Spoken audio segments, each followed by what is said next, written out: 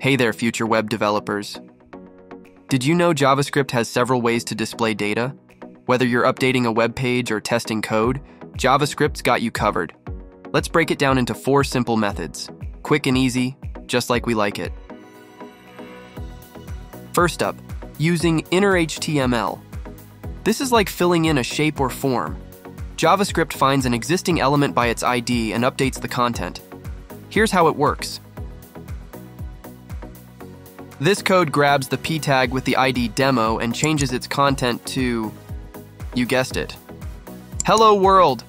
Super handy for updating content dynamically. Next, we have document write. It's like the loudspeaker of JavaScript. It outputs directly into the HTML document. But watch out.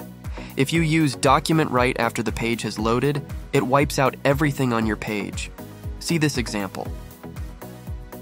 Here we run the code when the user clicks the button. So, after the page has finished loading, oops, it replaces our entire page. So great for quick testing, but not for production. Want to grab someone's attention?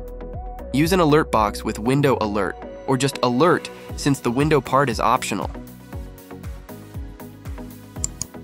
This pops up a box with the result, Great for quick notifications, but don't overuse it, unless you like annoying your users. And finally, the secret weapon for debugging, console log. Think of it like a journal for your code. It logs messages straight to the browser console. Use this to test your code behind the scenes without interrupting the user experience. It's a developer's best friend. When testing console methods, you need to have the console view visible, this is usually opened by pressing F12. One last trick. While JavaScript doesn't have a direct send to printer function, you can use window print to print the current page. Easy peasy, just one button click and voila, old-timey paper printed content. So there you have it, four ways to display data in JavaScript plus a bonus printing tip.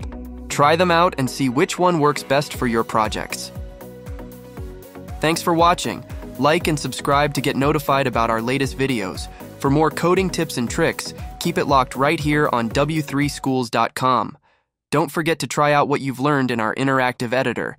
Happy coding!